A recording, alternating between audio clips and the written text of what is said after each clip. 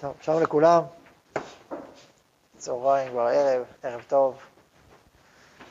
אנחנו נמשיך מידת הגבורה. בעזרת השם בשבוע, השבוע הבא אני מקווה השם גם. וזה אנחנו נחתום. זה שיעור אחד לפני האחרון. אה,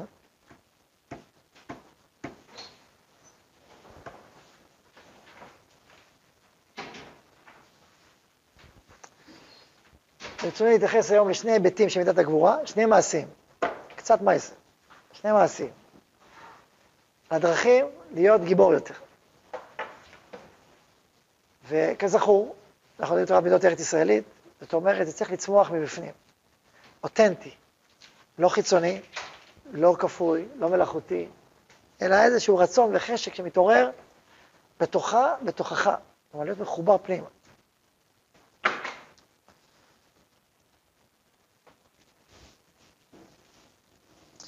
אחת התכונות. אז, אז יש נקודה שדיברנו בה קצת פעמים קודמות, היום אני רוצה להרחיב בה. נקודה שנייה שדיברנו בה פחות, וגם רוצה לדבר עליה. אחד, אני קורא לזה עולם הזריזות, מידת הזריזות. המסעת השערים, מידת הזריזות. אין גבורה, אין גבורה במסעת השערים, נכון? גבורה. מה יש? זריזות. מידת הזריזות. הדבר השני, זה היכולת להיעזר בכל הכלים כולל יראת העונש, כולל שכר. יכולת, יכולת להיעזר בכל הכלים, כולל יראת העונש, בשירות הגבורה. זה נשמע פרדוק, פרדוקס, ונעמיק פה בחלק השני של השיעור. נתחיל בחלק הראשון. זריזות מביא על ידי זהירות, אומר רבי חס בן יאיר, והרמח"ל שם את הזריזות בראש ספרו חובת אדם בעולמו, קודם כל זמן אמונה, מוסר, פנים, כל הכבוד שמיים, תבין איפה הולכים. אחרי חובת אדם בעולמו, הבנת מה צריך לעשות? מה הדבר שצריך הראשון שצריך שיהיה לך? זריזות. להיות זריז. מה? זהירות. מה? יש זהירות ויש זריזות. מה מתחיל באמת? זהירות. אחרי זה זריזות. נכון. זהירות ונדע זריזות. אמת אמרת. זהירות, בלא תעשה. זריזות, בעשה. לכן שניהם ביחד, זה שני צדדים של מטבע אחת. כלומר, הזהירות והזריזות, שני, זה שני צדדים של אותה פעימה. הפעימה בלא תעשה זה הזהירות. הפעימה בעשה זה הזריזות, ככה הוא מסביר. אז לכן, אתה צודק שזה זה, זה הסעיף הראשון, אבל הפעימה הראשונה היא כפולה. אחת, שש, שתיים. זהירות וזריזות. זהירות בכל הדברים הגדולים, מה שהוא כותב שם. מידות וזריזות מעשה. עכשיו, העולם הזה של הזריזות מלווה אותנו כמעט בכל הקשר. שימו לב כמה, כמה זה יכול להיות, כמה זה קורה הרבה. תחשבו עליכם, מתי הזריזות הבאה שלכם? יכול להיות אפילו תוך כדי השיעור, אם אתה מסכם או לא מסכם, נניח. אתה לא יכול לסכם, אבל אם אתה רוצה לסכם, רק אתה מתעצל לסכם, והזדרזת לסכם, התגברת. הגבורה פרצה. זריזות. עכשיו יכולתי תוך כדי תנועה. זה יכול להיות, יצאת מהשיעור, הלכת לאכול ארוחת ערב, אחרי זה תפילה. איך אתה הולך לתפילה? האם אתה הולך לתפילה בצעדים איטיים וכבדים, או אתה הולך בזריזות, במהירות, אפילו בריצה אולי. זה עוד רגע, נכון? אתה אחרי זה בא ללמוד חברותא, איך אתה בא ללמוד חברותא? בלאות ובכבדות. או בזריזות, יאללה, בוא החמוד איפה הספר, בוא נתחיל ללמוד. נכון? שאלה. לכן הזריזות היא תנועה יסודית מאוד, תנועת גבורה יסודית מאוד, שילווה אותנו תמיד.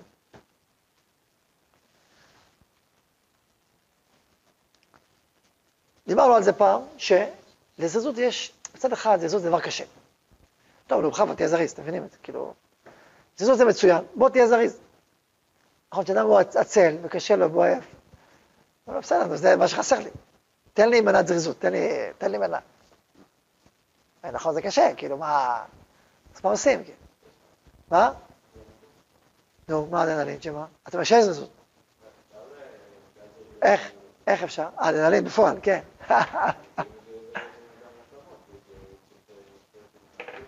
טוב, הנה החופשים שלנו. מה עושים? מתי מזרקים אדרנלין? אבל רק אז, למה אם הוא לא הולך לעמוד מזרקים אדרנלין? למה אדם רגיל לא מזרקים אדרנלין? מה עושים הספורטאים? שמים סמי מרץ, וככה אה, אה, בסוף פוסלים אותם על זה, ועכשיו זה לכלא גם. סמי מרץ. אבל זה פעולות חיצוניות אה, לגמרי, זה לא, זה לא בריא, זה לא שלך. עכשיו, אז השאלה היא איך, איך האדם מתמלא ברצון הזה. עולם הרצון. וממילא הזריזות. הזריזות, אז איך אנחנו מתפתחים בעולם הזריזות כתנועה יסודית של הגבורה? כלומר? כן, מי הרב? אני אוהב לך. כן. הרב קוק, כן. חמחן. אוקיי, לאט לאט. נתחיל להגיד מה שעוז אומר. עוז אומר, תרוץ. או במילים אחרות, אחר המעשים, אחרים. אחד הדברים היפים בזריזות, שהחיצוני יכול לראות את הפנימי. לא בכל מידה כזאת, זוכרים, דיברנו, בענווה זה לא עובד, בזה זה לא עובד. יש מידה, זה לא שם, זה לא יעבוד. זה לא יעבוד. אין לך את הכוח לעבוד מבחוץ. הפריבילגיה הזאת לא נמצאת אצלך. בזריזות, אחד הכלים הכי טובים זה לעבוד מחוץ לפה. זה בידך, לך על זה. ופעמים רבות זה ממש מועיל. ממש מועיל, אמרתי לכם. אפילו, אפילו תלכו להשאיר, תלכו, פשוט ללכת מהר, ללכת בזריזות, ללכת עם אנרגיה. חיצוני, חיצוני. אתה בפנים לאה ואין לך שום כוח לכלום. חיצונית. לאט לאט זה משפיע. לא בכל, המקרים, לא בכל המקרים, אבל הרבה פעמים. לדיכאון עמוק זה לא עוזר. אבל לעצלות אה, קלה, או לעצלות אה, סטנדרטית, זה ממש עוזר. דוגמה, אדם הולך לבין הזמנים או לא בין הזמנים, נמצא אצל הוריו, ויש ערימת כלים, כבירה. קרה לכם פעם? מוישה, מה אתה אומר על ערימת הכלים הזאת? אמא, לא ראיתי, לא, אני באמצע הספר, אני באמצע זה, מעדיף לא לראות אותה. אני חושב שמעדיפים להיכנס לחדר, עד יעבור זר. יצאו איכשהו ערימה, תיעלם, ואז בסדר, אפשר לחזור חזרה. כן, מה צריך? כל מיני כאלה, נכון? וזה יכול לקרות בחדות, כמו שאמרת, בבוטות, כמו שאני אומר עכשיו. יכול לקרות בפשטות הזאת, לא רוצה, מה? אתם מכירים את ההמרומים של נער מתבגר, אה? עזבי אותי, כאילו, עזבי אותי. זה יכול להיות כזה, זה יכול להיות בוטה, זה יכול להיות התחמקות, זה יכול להיות התחמקות אלגנטית, זה יכול להיות בדיוק כשאתה בדיוק עושה משהו אחר, חשוב, כל מיני צורות התחמקות. וזה יכול להיות שאתה גם כן עושה בסוף. בוא נגיד על דרגה יותר גבוהה, שאתה כבר מבין שאתה בן להוריך, כיבוד הורים. שומע בבוקר כל יום הולכות כיבוד הורים, אתה אומר, מה זאת אומרת? אני מגיע הביתה, אמא, מה צריך? זה פסח בכלל, זה, מה צריך לנקות לפסח? אתה תנור בבקשה.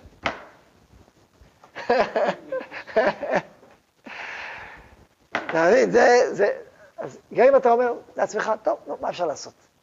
מה אפשר לעשות? זה המצב, אני מחויב, אני אעשה. אוקיי, קודם כל עשית זה דרגה, אבל אם עשית בזריזות, כנראה שלא. כנראה שלא. אז מה עושים? דבר ראשון, עצה ראשונה, מעשית, תעשה את זה בפועל בזריזות. רק שלא יישברו הכלים.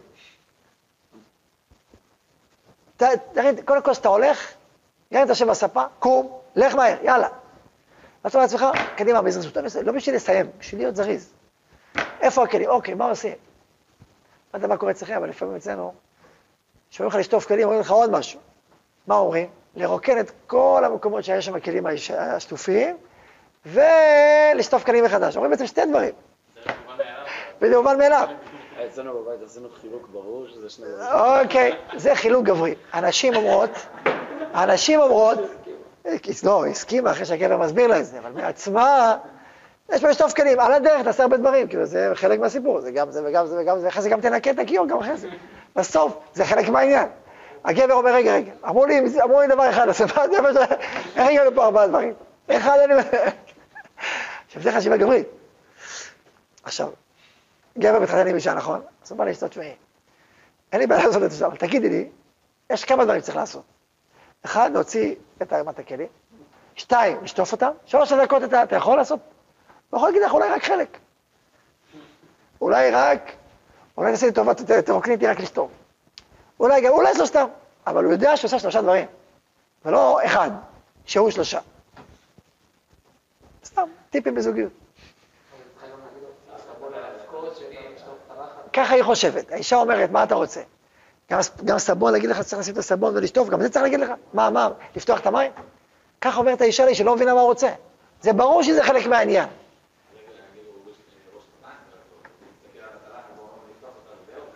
אוקיי, אז אתה מגדיל את הקושייה של יואל. תשובת הדבר, תשובת הדבר. יש הבדל יסודי בין גבר לאישה, שהגבר הוא משימתי, והוא לא אוהב לעשות הרבה משימות בבת אחת, באופיו. אישה היא רב משימתית.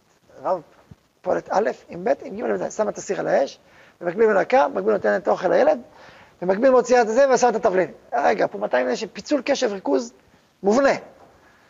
איש, בוא תעשה את זה. רגע, רגע, רגע, רוצה שאני אבשל? אני אבשל. אתה רוצה מה שאתה רוצה, אבל בוא נבחר מה עושים. או נעשה א' אחרי זה ב', אחרי זה ג'. בוא... וגם הוא מעדיף שאל תגידי, תן לי את המשימה ואחרי זה נתקדם. לא, תעשה את זה ואחרי זה את זה ואחרי זה... תלוי. עכשיו, אני אומר, כל אחד עם הזה שלו, אבל אני רק מבטא קווים גבריים, כי הם קווים גבריים קלאסיים. עכשיו, אתה יכול לא, לא לבטא את זה, אבל צריך לדעת את זה. מה שגבר הוא משימתי, והוא חד משימתי, באופיו, אז משימה שהיא כוללת הרבה משימות, היא כאילו, היא כאילו, היא, היא לא, היא מתנגדת למיקוד הטבעי שלו. זה לא מתוך עצלות, זה לא מתוך פשטנות, זה לא מתוך התחמקות, זה מתוך אה, ניגוד לאופי המשימתי הממוקד. הוא עכשיו ממוקד לשטוף, הוא לא עושה משהו אחר. על זה, על זה האנרגיה שלו מכוונת.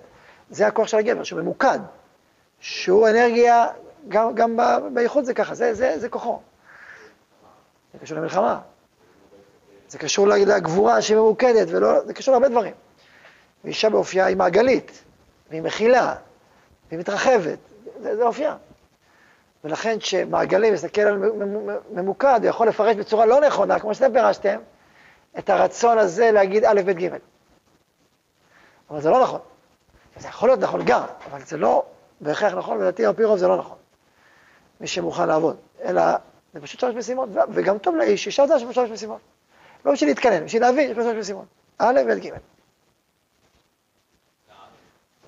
גם בשביל להעריך, כן, להעריך, אבל שוב, במקום הנכון. זה יכול להיות קטנוני, וזה יכול להיות uh, זוגי רומנטי. תלוי איך מסתכלים על זה. אם מסתכלים על זה, אה, אתה רוצה פרגון על כל דבר שזה, זה הסתכלות קטנונית. אני לא רוצה להרגיש. למה אני עושה באמת? אתה יודע למה אני עושה? לא כי רק חשוב שיהיה כלים שטופים, גם, אבל זו לא המוטיבציה העיקרית שלי. מה המוטיבציה העיקרית שלי? שתהיי שמחה. אבל זה גם שלי, נכון, זה שלנו. מסכים. אבל בכלל זו המוטיבציה העיקרית שלי. אכפת לך לפרגן על זה? זה עולה לך כסף. תהני מזה. תהני מהיחד שלנו. אני עוד, זה מחווה בעצם, זה סוג של מחווה. מה אכפת לך לקבל את זה כמחווה ולהגיב? איזה מדהים, איזה כלים שטופים. קודם כל אתה שותף כלים מדהים. וזה כל כך משמח אותי, הכלים ששתפת, מדהים. מה הגבר יעשה? ישטוף גם מחר. למה? כי זה טוב לו, זה כיף לו, הוא אוהב לשמח את אשתו, הוא אוהב שהכלים גם שטופים, הוא אוהב לעשות את זה טוב. שמח, מצוין. אישה תהנה, אישה תגיד לו, לא, לא, מה, אני אגיד לך מה, זה מובן מאליו, זה מובן מאליו. אם זה לא מובן מאליו, אז כל מיני חשבונות. אוקיי, אז הוא לא ישטוף מחר. גידה, קשה לי, אני עסוק. אז מה קרה פה? קרה פה זוגיות. טובה, כיפית, נחמדה. זה, השור, זה לא איזה סוד, זה כאילו חלק מהכיף. ואישה פתוחה לאופן הנשי שלה, היא מפרגנת בשמחה. אין לה שום בעיה לפרגן, היא בשמחה לפרגן.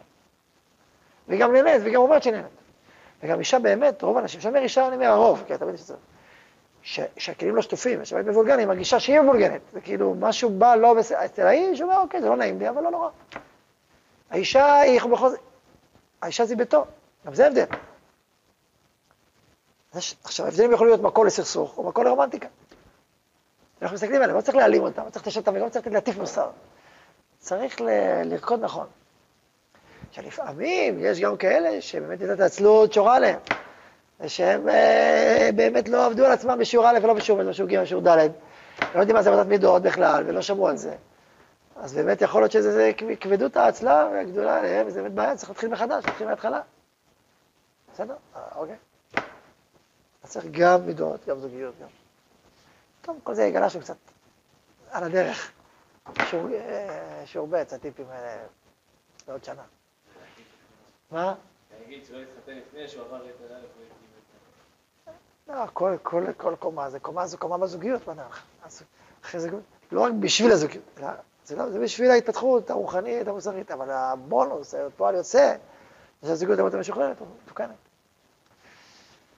נחזור חזרה לתחילת הסוגיה. גבר זה לשון גבורה, אגב. חלק ממידתו, מאופיו. למרות, למרות, שגם האישה והאיש, דיברנו שזה דינים וחסדים, יש גם צד, יש גם צד, נכון, נכון. יש, לכן זה לא פשוט. זה נכון שבאופן כללי, האיש החסדים ואיש הגבורות, בעולם מסעות, מה שדיברנו על זה, הבינתיות, ההבחנות, הרגישות וכולי וכולי, הקו הזה, נתנו את זה שיעור, אתה זוכר?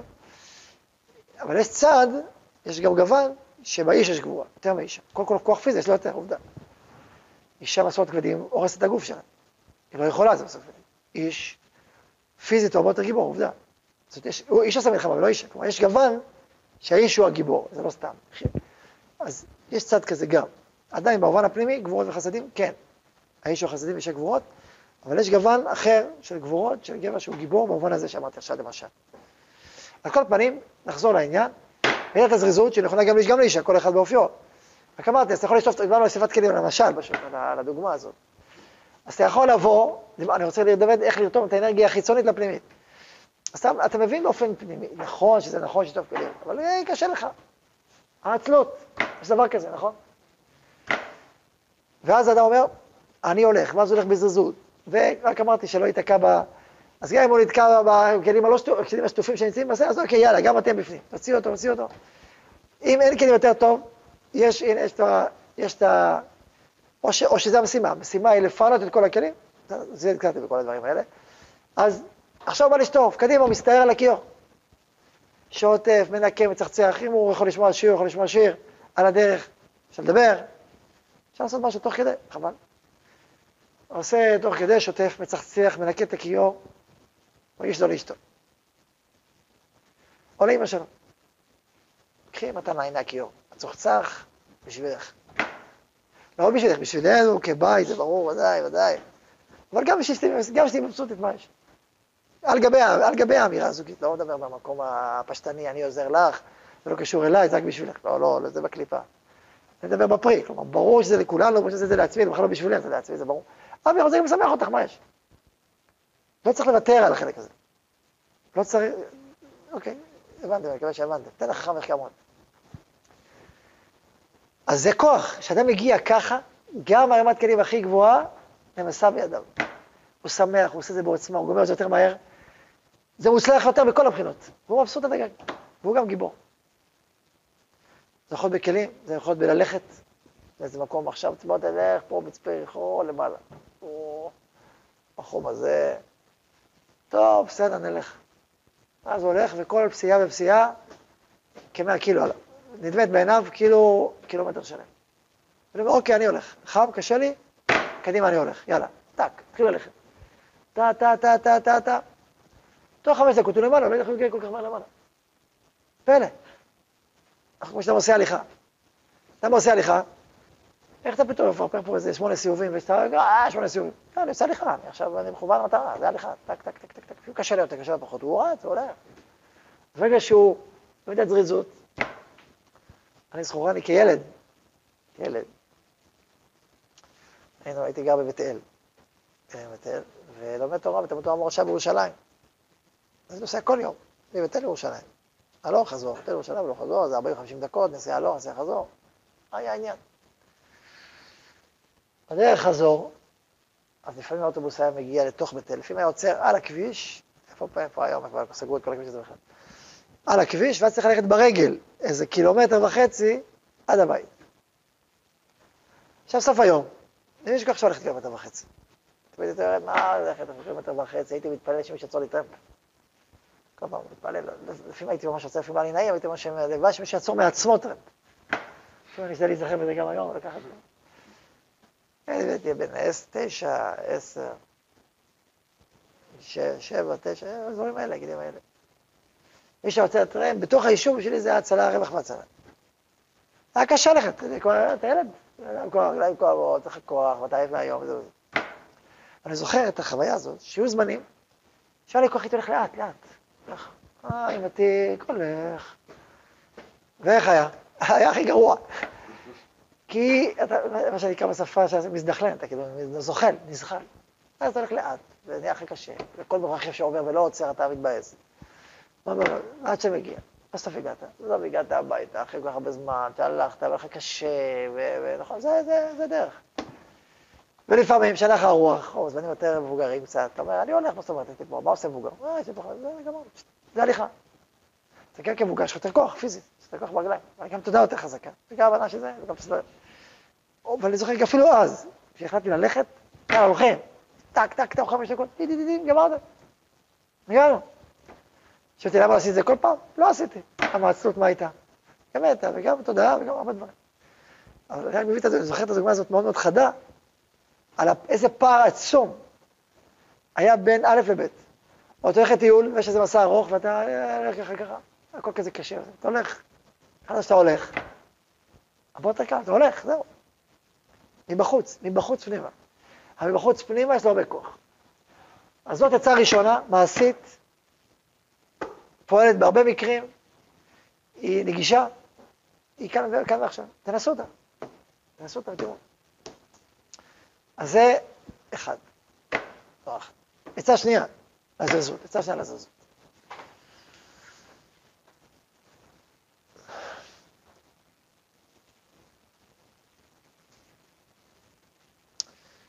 הבנת גודל החשיבות של דבר.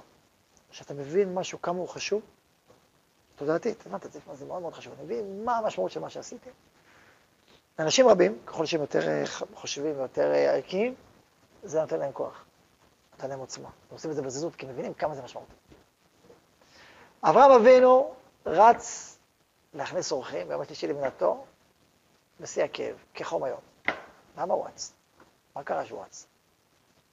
למה הוא רץ? הוא מלא אהבה, הוא מלא תודעה עמוקה, שזה להכניס, לקבל פני שכינה. הוא יודע שהוא מכניס אורח, הוא עושה פעולה רוחנית נצחית, עמוקה, יסודית, הוא מביא אור אמיתי לעולם, אור של קודש, אור של אהבה. הוא, הוא מכין את האנשים האלה. עכשיו, כיוון שיש לו נשמה מפותחת ותודעה מפותחת, הוא רץ. לכן, ככל שהתודעה תהיה יותר מפותחת, הערך של הדבר יהיה יותר גדול, פחות יותר כוח. פחות, פחות. דוגמה לדבר,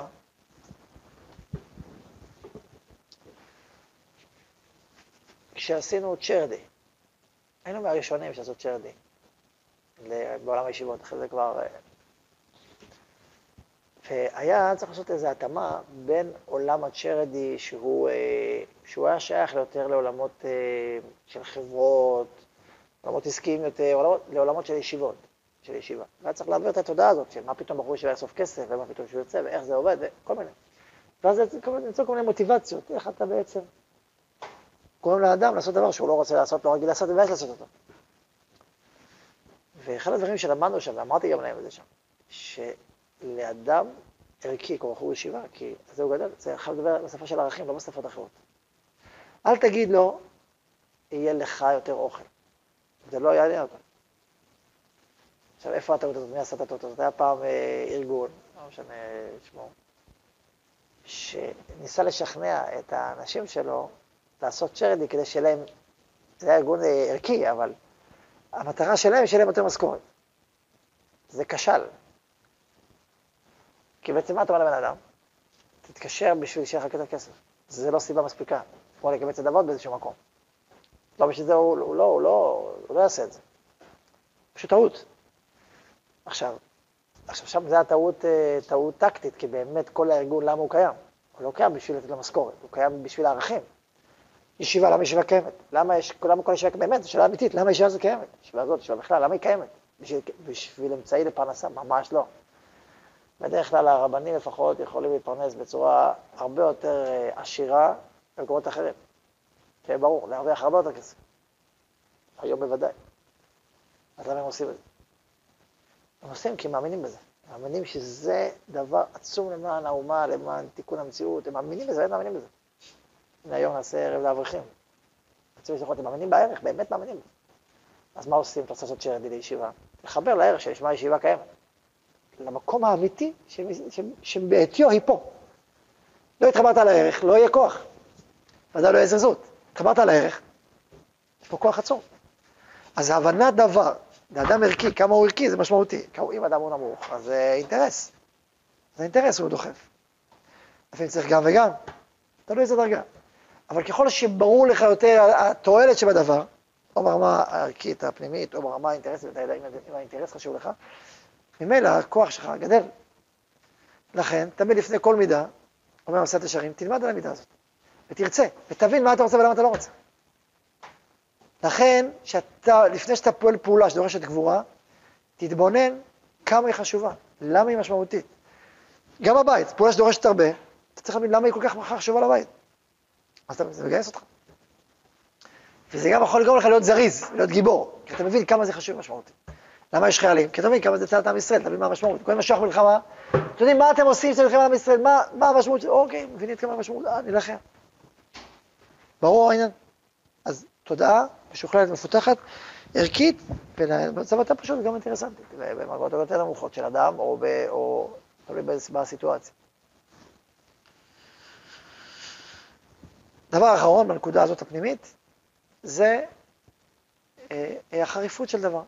דיברנו על זה פעם, שככל שדבר אתה מבין אותו יותר בחריפות, כמה הוא טוב או רע, זה מניע אותך לפעולה. ככל שזה יותר פרווה באמצע, זה פחות מניע. דוגמה לדבר, אם אתה שם אצבע במים רותחים, פשט, מים קרים מאוד, כנ"ל, מים באמצע, הכל נחמד ונעים. אדם הוא נותן לאיזון, נותן למזוג. ברגע שהוא חי בקצה, הוא עף לקצה השני. יש משפט של המהר"ל, ככה הוא הרעיון הזה, קצה מוליד קצה. לכן יש להם קצה מאוד, הקצה השני יוולד. תמיד זה ככה. קחו מישהו שם מאוד קיצוני, יביע פה דעה קיצונית, הקצה השני יופיע. זה אחת הסיבות שאסור לשבח בן אדם יותר מדי. אם ישבח מאוד מאוד מאוד, מה יקרה, אם הם לא חסידים שרופים שלו, מה יקרה? מה יגיד לך? כן, הוא כזה כמו שאתה אומר, אבל לצד שני וצד שני וצד שני. אתה, אתה מכריח אותו כאילו להגיד הפוך. מרוב שהגזמת בצד אחד. קצה מוליד קצה. מצד אחד. מצד שני, שאתה מבין לעומק כמה דבר הוא, הוא משמעותי, כמה הוא לא בסדר, אז, אתה, זה רואה אותך. כאילו, בניגוד למה שאמרתי, עכשיו אמרתי, אמרתי קודם משפט, קצה מוליד קצה. אבל קצה גם מוניע לפעולה. מתי אתה תפעל נגד ממשלה? שהיא תגזים, שהיא תהיה קיצונית, שהיא תהיה מאוזנת, היא לא תפעל. מתי, מתי תצטרך לבית משפט? יש בית משפט שהוא נורא קיצוני, וגם בזה הוא עושה, וגם בזה, וגם בזה, וגם חייבים להחליף אותו. לכן המהפכנים אומרים שככל שיותר רע, יותר טוב. ככל שיותר רע, יש סיכוי שיהיה מהפכה. אבל אם לא יהיה כזה רע, יהיה די בסדר, אז זה, זה, זה, זה, לא, זה לא ישתנה, לא יהיה שינוי. לכן לפעמים צריך להחריף משהו בשביל עצמך ובשביל אחרים, לעשות שינוי.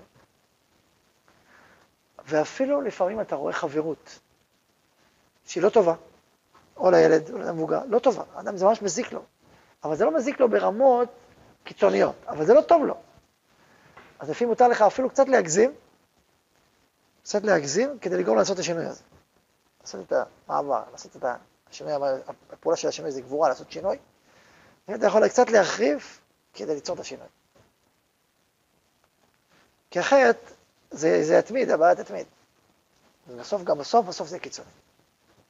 לכן אתה יודע להחריף קצת, קצת להחריף. זה, זה עניין, צריך לקרוא אותו במשורה וצריך להבין את הכוח שלו. להחריף ליצור שינוי. אוקיי, אז זה דבר שלישי, הנקודה השלישית בעצות הדרכים, ליצור שינוי.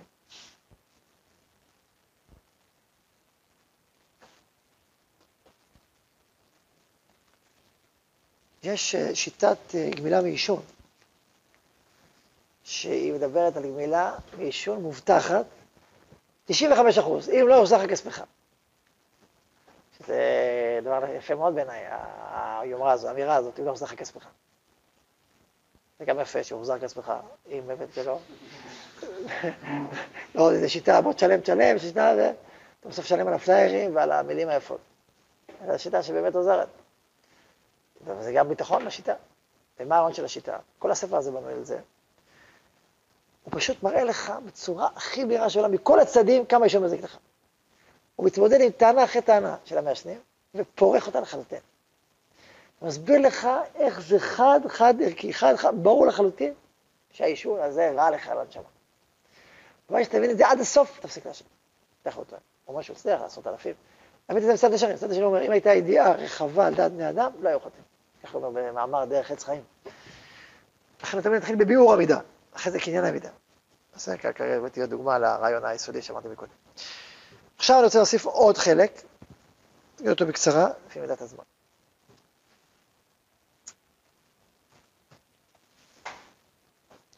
הכרתי בחור צעיר, זה סיפור טרי, בחור צעיר, לא מהישיבה שלנו, ישיבה אחרת. שמתמודד עם הנושא של הסמארטפונים. הבעיות של הגלישות והבעיות של הצניעות, הוא לא מתמודד. ומה עושים, ואיך עושים, תתייעץ איתי, ככה עושים, ככה עושים. והוא אומר לי, תשמע, זה קשה מאוד, אני, אני יודע לעקוף את החסימות, ומה... ואני עושה ככה, עושה ככה, אמרתי לו, אז קודם כל דיברתי איתו על, ה... על איך הוא תופס את עצמו, כרשע או כצדיק. שמעת, מה, מה, מה זה, שהוא באמת צדיק, שהוא באמת בתוך תוכו, תראה, אתה רוצה להתמודד עם משהו שהוא, כאילו, מה אתה מתמודד? לך איתה.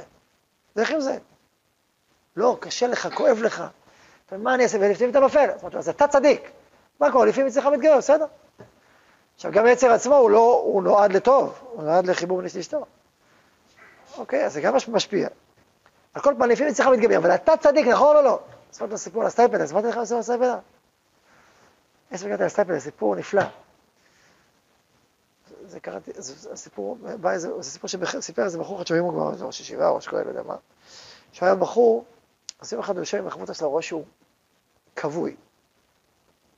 בא, בוא נלמד, דבר איתו קצת, כזה, כזה צולע, צולע ונידחה, והכל עם אנרגיות נמוכות מאוד מאוד. מה קרה? הכל בסדר? לא, הכל בסדר. בסוף לחץ אומר, אה, תגיד, הכל בסדר, מה, אני חמודה שלך, אתה, מי אתה עבוד? אני רואה מה קורה. לחץ, לחץ, סוף התואר, אז אגיד לך, מה, הוא אומר, תשמע, היה לי טיפול רפואי בתל אביב באיזה מקום, הייתי צריך לנסוע מירושלים לתל אביב.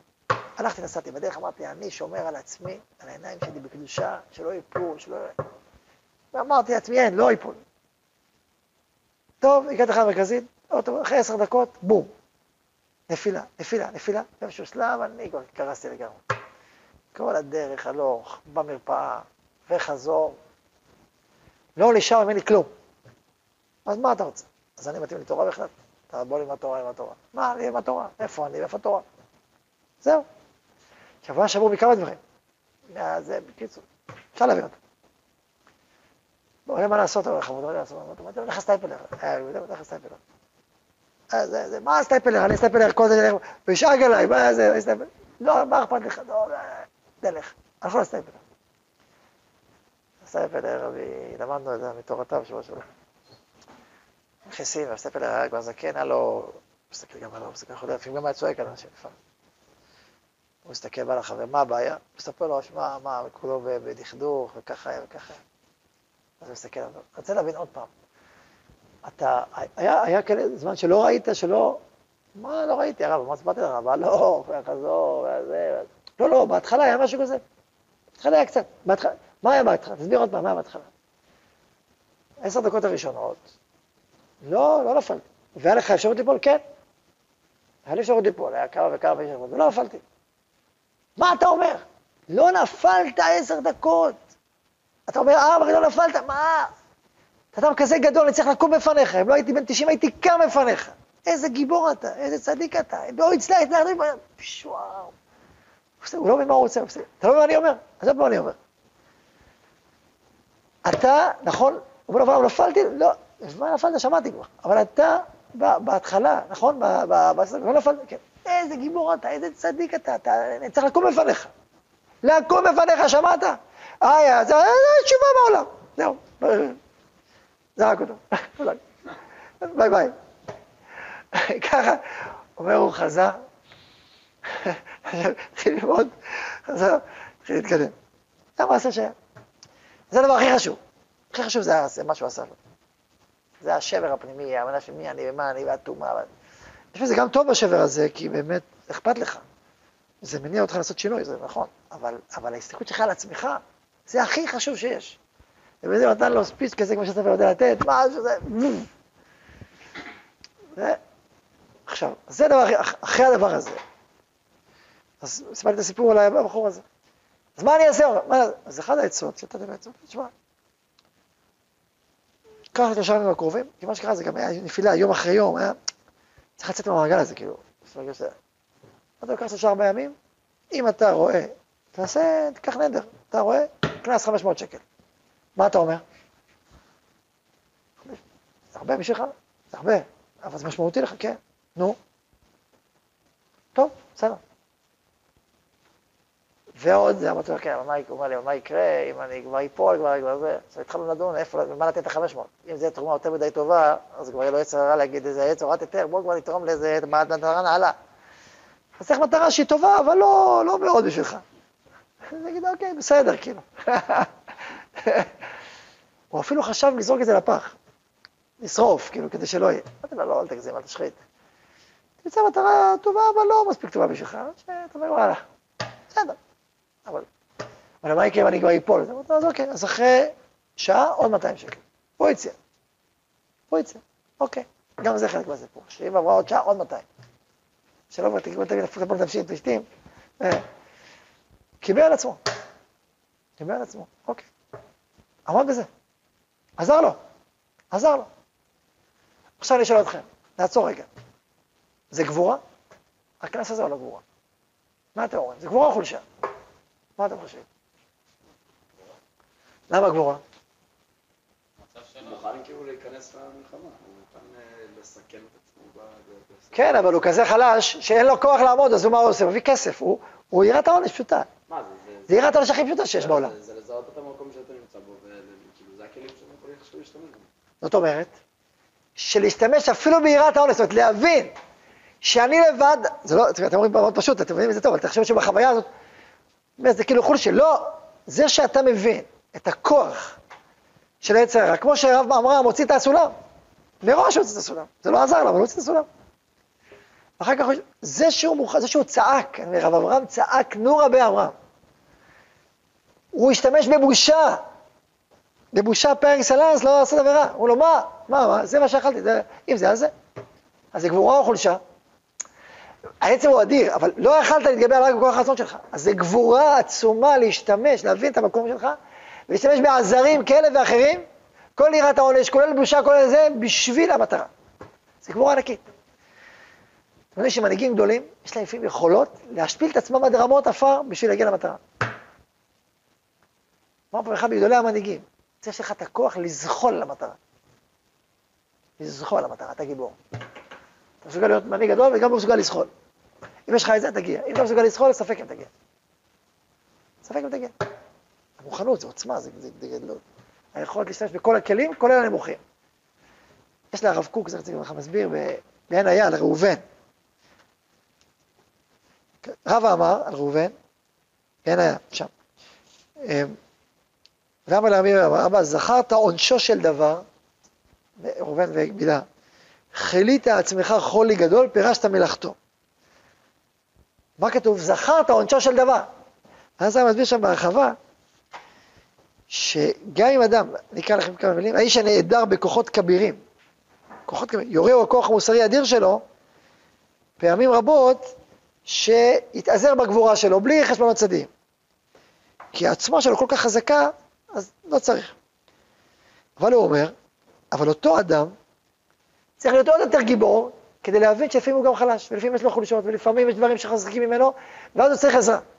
זה, הוא אומר, הוא עוד יותר גיבור, שמגיע למדרגה הזאת גם כן. ואישיות כזאת צריכה להכיר כדי שגם הוא יהיה נאונש מוגבל, שגם עליו יקיפו המוני דמיונות להחשיך את נוגרו. ולפעמים הוא יכול ליפול במאמרות חטאים נוראים, שיסבבו רעל ועמל רבה לעולם. על כן בזאת ייבחן אדם הנעלה. בעת אשר רגשותיו יהמו ורע גבורתו יעלה למעלה למעלה, אני מדלג, שיהיה מוכן אפילו לזהות שהוא מגיע למקום שמצוין אחרי ספורסה, ויש בה מקום להתמודדות וספק מאיזה פינה מופיע, מאיזה פינה, כלומר פתאום הוא מזהה שגם הוא ענק וגיבור אדיר, אבל הוא יודע שבמקום הזה יש בו ספק, ישר, בום. אז יהיה עליו לשוב אחור אל הסדר הכולל והנמוך, אשר לפעמים יהיה להועיל לחכמי לב יותר מכל עצות רמות הערך. הוא מסוגל, יש לו מנעד כל כך רחב וכל כך משוכלל, על הדברים הכי פשוטים, בשביל המטרה. זה גבורה עצומה. ולכן, זה גם עצה מאוד מאוד טובה, להשתמש בהרבה עזרים, בשביל להגיע למטרה. זה המטרה שלך, מה אתה צריך בשביל זה? שואלים אמנים, מה צריך בשביל זה? זה וזה וזה, צריך חיזוק, אני צריך חיזוק, אני צריך פרגון. לפעמים צריך פרגון. שאני צריך פרגון, תפרגן לי. זה גבורה או קוטנות. אולי אני צריך לפרגון שלא צריך פרגון, עכשיו אני צריך פרגון. וזאת המטרה, אני מוכן להגיד לך שאני צריך פרגון, כי אני יודע שזה מועיל לי, אז תפרגן לי. זה גדלות, זה לא קטנות. זה נכון שהוא צריך אישות כזאת גדולה, שאוקיי, אבל פה אני נמצא, ואני רוצה להגיד אותה למרות זאת, מה אני עושה? אני אעזר בזה. אדם גדול. מבינים את העניין. זה לא פשוט להבין את זה, זה עניין להבין את זה. אבל זה אחד העצות הכי טובות איך להתקדם ואיך להיות גיבור. בסוף אתה גיבור, אתה לא, אתה גיבור גדול. אתה לא תגיד איזה חלש אני, לא, אתה גיבור אתה. אתה נעזר בזה ובזה ובזה ובזה וזה בשביל להגיע למטרה הגדולה. יכול להיות שבהמשך הדרך תהיה עוד יותר, אוקיי, בסדר, אז בוא. ככה מתקדמים, עוד צעד ועוד צעד ועוד צעד. אז זה עוד עצת יסוד לגבורה, לזרזות. אמן עליכם ועלינו. ברוך ה' לעולם, אמן ואמן.